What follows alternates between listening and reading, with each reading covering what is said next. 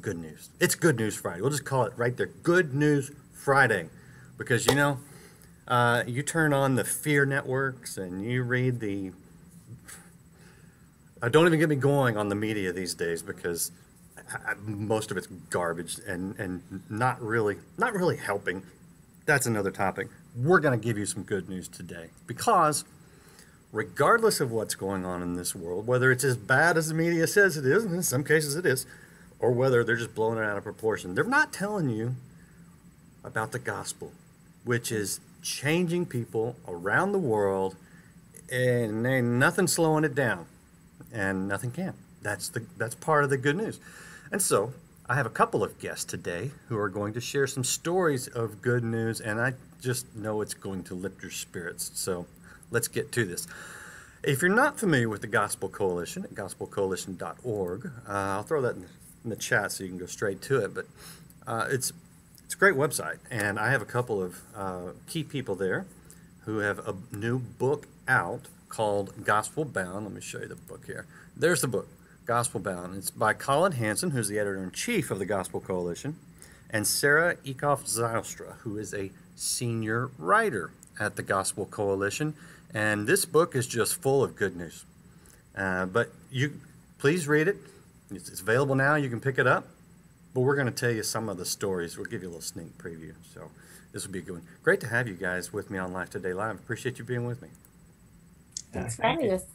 All right. I like News Friday. It sounds great. So, um, who wants to go first? Who wants to tell us a great story? Uh, you know what? I, I, guess I should start with the typical question of why'd you write the book? We'll get that out of the way. Uh, it seems obvious in this case, but maybe there's something I don't know. So, why'd you guys write this book? I can I can tell you that part, and then Sarah, she's the the great story writer, and she can give you a lot of these stories. But I think we wrote the book for a lot of the reasons that you just raised right there. That so many of your viewers right now, all of you out there, you're not getting the full story, and it's not just a, a distorted story, but you're not getting, I would say, in so many ways, the real story of what God is doing around the world. Um, Sarah and I both have a background in journalism, both trained in journalism, been working in journalism for almost 20 years. But one of the things we keep coming back to is you don't get any attention unless it's bad news. Um, I was talking with a pastor this last week. Gospel Coalition had our national conferences and had people from all over the country, people watching all over the world, tens of thousands of people watching all over the world. And I was talking to a pastor who's had a faithful ministry over the course of decades, decades and decades of faithful ministry, raised up uh, sons who walk with God and are doing great things in their communities. And I said, if you retire from your church, your local newspaper will not write anything about you saying faithful pastor has served for all of these years.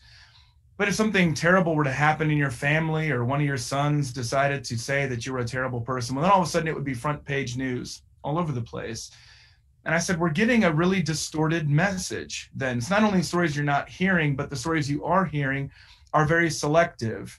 And I think that discourages a lot of Christians. At least it can be discouraging to me and to Sarah because we are so immersed in the day to day um, of, all this stuff. And so we wrote these stories because they're true, because they're happening all over the country, all over the world, and also because we wanted to be encouraged ourselves in the middle of this. So, yeah, it's full of just all kinds of, we think, encouraging stories that we can also follow as Christians. Yeah. And, you know, they're true stories. That's what makes it even better. This is not just, I love books uh, about, you know, just encouraging people, but these are actual, real stories. These are things that are going on. So let's jump in and you guys pick one of the stories out, out of the book and just blow it up for us. Show us show us what it's about.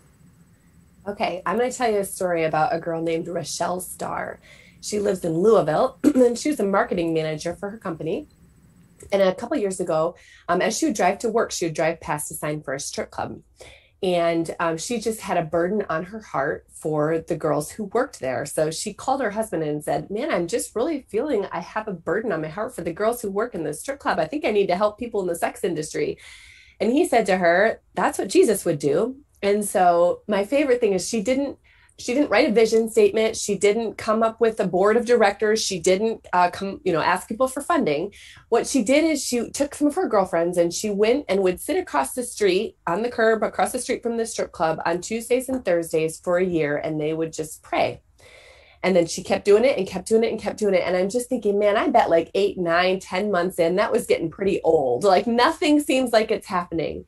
But finally after about a year she felt like it god was putting on her heart it was time to go in so she went inside and she was scared to death and wore a turtleneck and no makeup and didn't know what to do. She'd never been inside a place like that before. And it was dark and the lights um, were flashing. And she went over to the um, owner of the of the club and said, "I'd like to do something kind and loving for the women who work here."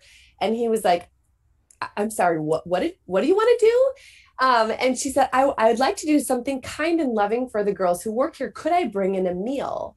And he said, "I've you know, what do you mean? And she said, Well, I'm a Christian. And he said, I've never, I don't think I've ever had a Christian in here. I've seen them picketing outside, but I've never knowingly had one in the club. And she said, Well, here I am. So he let her bring in a meal. Um, and the, so she and those girls from her church fried up some chicken and got some mashed potatoes and, and some green beans. And in they come with their meal for these girls and laid it out for them. And um, the girls reacted in a lot the same way. Some wouldn't even eat it because they were afraid it was poisoned. Um, but it was just they then they came back and said, could we do it again the next week? And they did, and the next week, and they did. And of course, what would happen if we ate together week after week after week is we would start to become friends and trust each other and tell each other things. So they started telling her things like, I'm on heroin and I can't get off, or I, I never wanted to be here. I wanted to go to culinary school, but through the twists and, and brokenness of my life, here I am. Or one girl, she went to um, help her carry some things to her house, and she said the only thing in her whole apartment was a Disney princess sleeping bag. She didn't even have a pillow.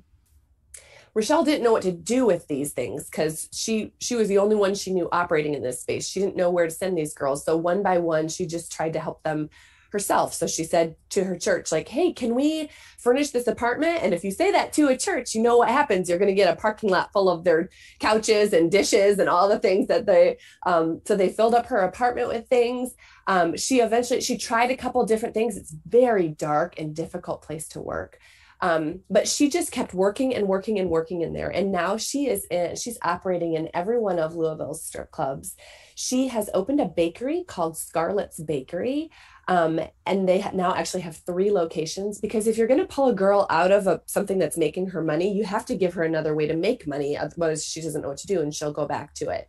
So they they work in these bakeries. She's now expanded into five other cities um, and is teaching other people how to do this too. It's not easy. It's dark. It's hard. Sometimes you work with a girl for a while and then she commits suicide or slides even deeper in. Um, but they have pulled more than 600 girls from the sex industry and have seen thousands of lives touched and hundreds of people come to the Lord. And it has been just a beautiful story of one girl saying yes to what God was asking her to do. And you know, I like I like the way you phrase that. Um, Collin, what do you see in these stories when people just are willing to say yes to what they feel like God's asking them to do? I think a lot of what we feel right now in the culture is so discouraging and it can be debilitating. Almost like it doesn't matter if i do anything. Mm-hmm. it doesn't matter if i if i take this step if i do this thing. But you you you put it you put it effectively right there. Just saying yes to god means in many cases doing what's right in front of you. It's taking the next step. It's not starting with i'm going to change the world. I'm going to it doesn't start with that. Nobody starts there. It starts with prayer. That's the number one yes to God. It starts with studying his word and knowing his word so we know what he wants from us to say yes to. It's not necessarily listening forever to hear a, a clear audible voice, but to clear but to hear from God clearly in his word there. And then it just means taking that next step. Um, just like Sarah talked about right there. Rochelle didn't didn't know how this was going to turn out. She didn't know she'd have this kind of success. She didn't even know what kind of greeting that she would get from these owners or from these women. But she knew that she was she was supposed to take that next step to get involved. And I hope that for the people who are watching out there that that can be an encouragement to you that at a time of, of a lot of discouragement, what's happening in this world seems like things are falling apart in so many different ways God has still given you a sphere of influence with your family, with your neighborhood, with your community, and with your church. And God wants you to say yes to your responsibility to love and to care for those people. It just starts that simple, and maybe God will bless that in other ways, but every true revival among God's people starts that way. Mm, yeah, so true. And I, I find myself wondering, and I'm, you guys probably don't know the answer to this, but how did that club owner feel when, when uh, allowing the meals starts losing his employees? I don't know. I don't know if we know the answer to that. I do. I know do the you? answer to that. Yeah. Um, because she's had it happen more than once. So on the one hand, the club owner wants these girls to be, you know, healthy and, you know, you don't want your girls crying or they're in a difficult position. Um, so on the one hand, they love for Rochelle and her team to be there because they're caring for them. They're um, they're helping them along. But on the other hand, one club owner kicked her out one time because she's like, "I love having you guys here, but you're taking all my employees. Like I got, I still got to keep running my business." And so it's bet it's sort of a push and pull there with the club owners. Yeah, uh, that's interesting. I'm, I'm, impressed that you know that you know the backside of that because uh, let's face it, not everybody appreciates. Um, when we obey God. There's some opposition sometimes. I know there's some stories in your book, especially overseas, where you you you say yes to God, you're going to be persecuted. Tell me about some of the some of the situations you, you've seen, maybe outside the United States or Canada. Yeah, that's a good question. Um, I traveled to Kuala Lumpur last year before the COVID pandemic really took off um, and met. I was at a conference and there was a lot of mainland Chinese house pastors there, and I was able to speak with them. And a couple of things that they said were really striking to me.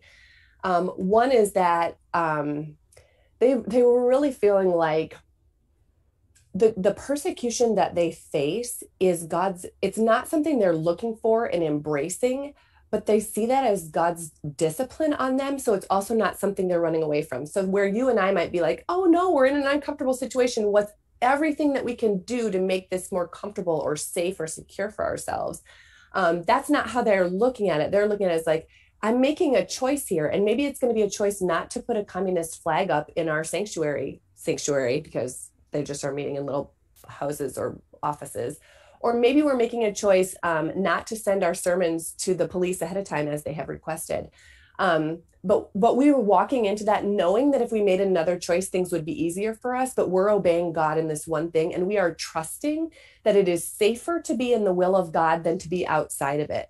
So it's safer to be working here than it would be one pastor i talked to said i got a job offer in the united states and i chose to go to china. And i was like why would you do that? You'd be so much safer here. And he's like because it's safer to me to be in the will of god it's safer to be in the lion's den or in that fiery furnace with God with you than to be outside of it somewhere that looks safe but isn't really. They had a lot of, it was super interesting to talk to them. And they tell lots of stories about how God has been with them in prison, um, how God is with their family members. They're really looking to, oh gosh, they have such a great view of heaven. And the more they pin their mind on that and the more they remember this is not our home, the more patient they can be and the more gentle they can be they can look at that police officer and not be angry and furious that he's wasting their best life yet by them having to be in jail and instead look at him with pity and compassion and think hey for forever i'm going to be with jesus and i don't think you are going to be. So my goal here is to bring you along with me. I love it when christians respond that way in, in situations where you feel like that guy's that girl's the enemy and god's like mm, no actually I, I, love them as much as i love you and mm-hmm. i've sent mm-hmm. you into their lives to, to impact that person for, for the kingdom's sake there is one thing i notice in a lot of these stories and there's different levels and frankly i think if you talk to some of the people they won't bring this up but typically there is a level of, of sacrifice whether it's you know and obviously in china you may be sacrificing your freedom or your very life. You know, in the West, it's a sacrifice of time, of money, sometimes of reputation. How how prevalent is that in your book when you tell these stories that yeah, if we're going to say yes to God, there is a cost sometimes. I think that's exactly what Jesus told us to expect. He mm-hmm. was pretty explicit about this. He said, If they hated me, they will hate you. And one of my favorite verses, I always go back to John 16 33. In this world, Jesus tells us, you will have much trouble, but take heart. I have overcome the world. I, I, that's a wonderful passage, but I often stop and wonder in what sense? What, what does he mean? Uh, because it's obvious that evil is still rampant in this world. Um, it's obvious that Christ is not uh, not not ruling in the most explicit ways that we can see in our government and even in our churches in many different ways. So how has Jesus overcome the world? Well, Jesus has overcome the world through the way that he does, through sacrificing himself, laying down his life for his friends. Greater love. There's no greater love than this. And so that's what it looks like for us to do likewise is to lay down our lives for our friends. And in fact, Jesus went even further and he laid down his life for many people who were his enemies. And we see that most evidently in the life of the Apostle Paul, right there. Paul, Paul, why do you, or Saul, Saul, why do you persecute me? And so what does Paul do when he when he encounters the risen Christ? What does he do? He then goes and does the same thing. He gives his life for his friends. He gives his life for for even his enemies. He loves his enemies. He refuses to get drawn in. So I think it's the, the solution for what we do in a place where we feel like there's so much more pressure and so much more persecution that we're going to have to sacrifice. There's not some sort of new, elaborate, grand, sophisticated strategy it's the basics of Christianity. It's the basics of what Jesus told us to expect and what he did. It's the basics of what Paul did and told us to expect. It's the forgiveness that transformed Peter's life from having betrayed Jesus, having been restored then. And Peter's then sent away saying, you know, Jesus asked him, do you, do you love me? Then feed my sheep, then care for my people. That's what we're called to do. As we love Jesus, we care for one another we love even our enemies. And, and uh, there's not just like you started off with the show like that's the gospel that cannot be daunted. That's the gospel that cannot be stopped. That's the gospel that among the apostles was seen to have turned the world upside down.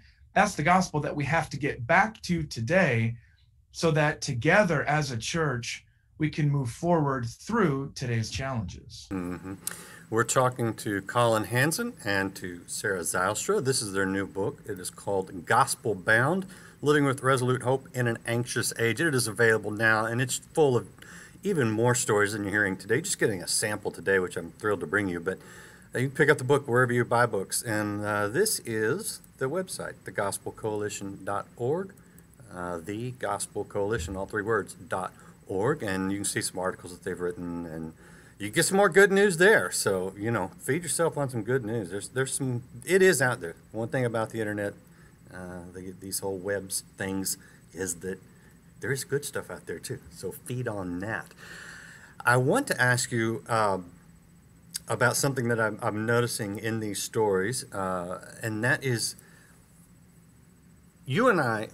I'm, I'm guessing. I, I don't know of anything off the top of my head, but I'm guessing that if we start talking doctrine and theology we'll quickly run into something that we don't 100% agree on. We maybe see it a little bit differently. And, and Lord knows, you know, you get into different denominations, there's things that we legitimately disagree about. We agree on the core issue of, of Christ, uh, the Messiah, died for our sins, resurrected. You know, the, these are all core things that we, we have to believe on, I think, to, to be able to work together, um, in, in His name at least. Uh, but there, there's a point where just showing love, just showing compassion, just showing mercy kind of covers, I don't know, where we may be a little doctrinally questionable, and I'm not advocating that we, we, we try to go there, but I notice a pattern in Scripture, which is, you know, when you, when the great, the Jesus' two commandments love God with all your heart, love your neighbor as yourself. He says nothing about doctrine there. And, and again, I don't mean, I don't want to dismiss it, but I, I see a pattern in both scripture and in the stories that you tell where, you know what, if, if you just do your best to, to hear God and to obey, and show some love and some kindness and some mercy to people, you're probably going to be okay. Is that any kind of thread that am I picking up on anything that's that's correct in these stories? Well, I, I think you are. One of the things that Jesus also said is the world will know that you are my disciples by the love that you have for one another. Mm. And one of the things that really led to this book from the beginning was as I was going through Paul's letters, I was going through the book of Romans. Same thing happens later in Galatians. And I noticed this little phrase, it comes up in Romans 2. It says, Obey the truth. And I thought, okay, well, we talk a lot about defending the truth, believing the truth. I don't hear us talk a lot about obeying the truth. And so the way we conclude this book is with a with a chapter called No Apology Necessary.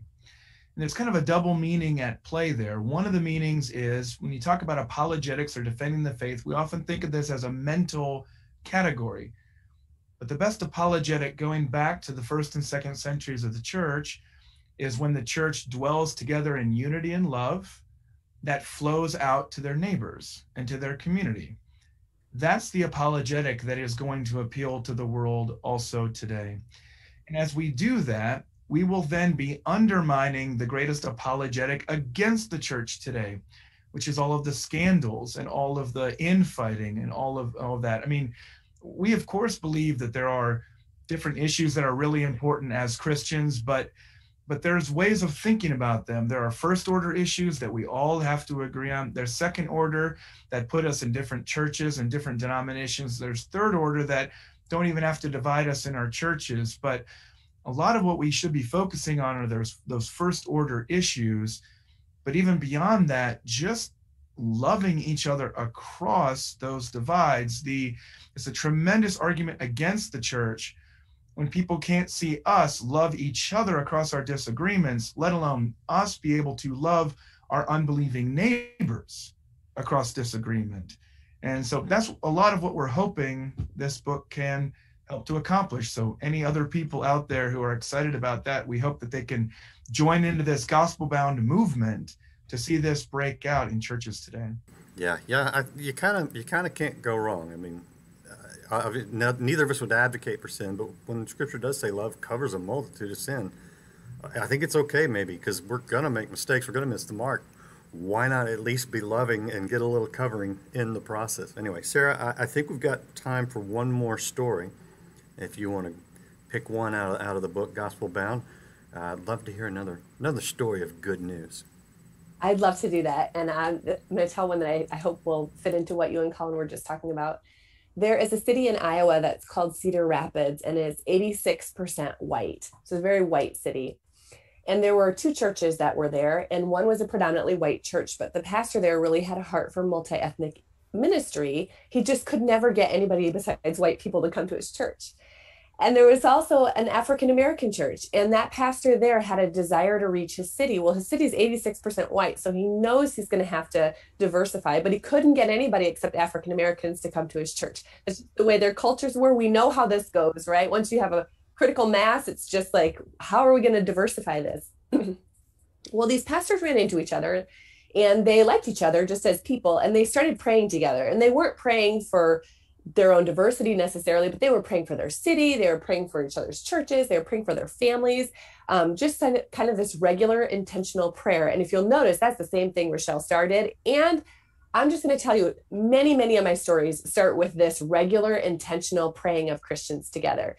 So they were doing this for a while, and then eventually they did a pulpit swap, which is totally normal. And then they said, let's do an Easter service together. And as they were sitting at this Easter service, they were listening, these pastors were sitting in these empty pews listening to the choir's practice to get ready for the service. And they were talking with one another.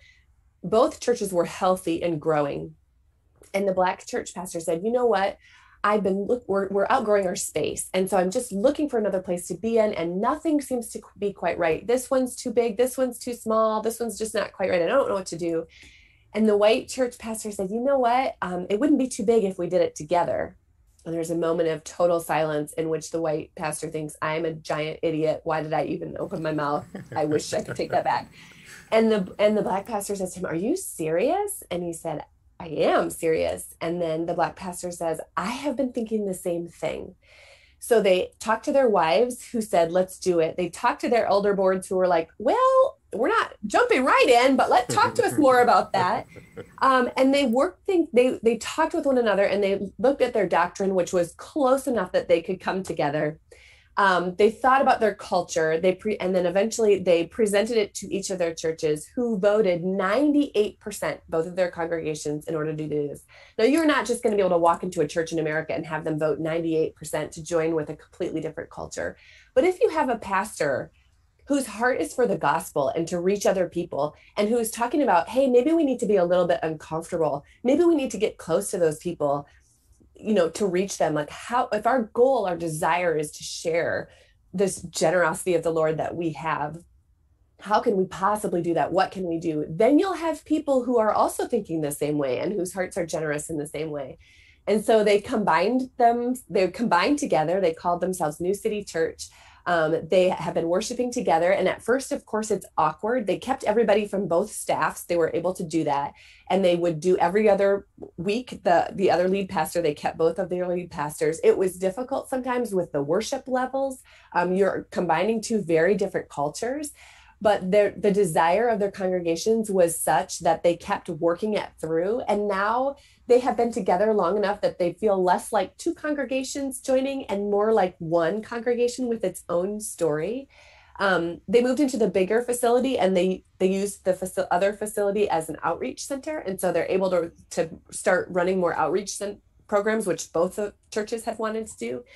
Um, people are attracted to that. More people are coming to the church. It's just been a beautiful like one step at a time. They just did the next thing that was in front of them. And just like you guys were saying too like to know somebody else the love that covers so much stuff holding on to those central issues and um, letting a love cover all kinds of other divides yeah you know one one thing that i think tends to happen um, when people hear stories like this is they is they think oh i need to I need to do something big. I need, but, but as we exit here, what, what would you, I mean, we kind of touched on, I think, the basics, but I, I think the most important thing is just hearing, hearing God for yourself because God's not really into cookie cutters. You know, He created us uniquely for a unique purpose that only we can fulfill. What would you say to somebody just to encourage them to to be another story? yeah just do the next thing you don't know what what the lord has for you we very quickly we talk about alex and brett harris they wrote a book as teenagers do hard things who knew that alex would end up clerking for two supreme court justices and being in a very high powered position after going to harvard law school who knew that brett would end up caring for a wife through all kinds of different debilitating diseases you just don't know what tomorrow brings but today is the day of the Lord, and He calls you to simply take that next step of obedience with Him and to seek Him in His Word and to seek Him in prayer. The more complicated this world gets, the more we believe we've got to get back to the gospel and keep it simple. Well, last question I want to touch on real quick is is the website, um, the Gospel Coalition, which is right there. Um, and and I've I've gone to this from time to time, but I, I, confess that I'm not as familiar with it as as I could be, and so I'm curious. Either one of you, who are, what is sort of the goal? What what do you? What is the purpose of, of the Gospel Coalition? We're just trying to be a resource to church leaders to help them to love God and to love their neighbors. That's what all of our stuff does. We we try to encourage them in soul, in spirit, in practical ways with discernment toward what's happening in the world and we want them to be able to take those those resources podcasts i also do a gospel bound podcast as well our podcast conferences just wrapping up those national conferences books um, articles theological journals all kinds of things but all of it is just pretty simple we're trying to produce these resources to help churches to make disciples of all nations so if your church needs help make disciples of all nations. That's what we're trying to do there. Also, we we do a lot of book reviews. So if you're looking for more books like this, it's a great place to come check out to see if they're solid gospel-centered resources or or not. We do a lot of that to be able to help discerning readers as well. Oh, great! I'll send you. I'll send you my latest book, or maybe I won't, because if you say it's not, that could backfire on me real quick. I, appreciate both of you guys in, in sharing, taking the time to put together these stories to encourage people and sharing them with our audience. Thank you for everything that you do. Thanks for having us. Appreciate you guys hanging out, watching. A little Life Today Live. Hope you've been lifted today. Hit share if you haven't subscribed or followed. Do that now. And come back next week. Got more great interviews lined up to encourage you. And I will see you next time here on Life Today Live.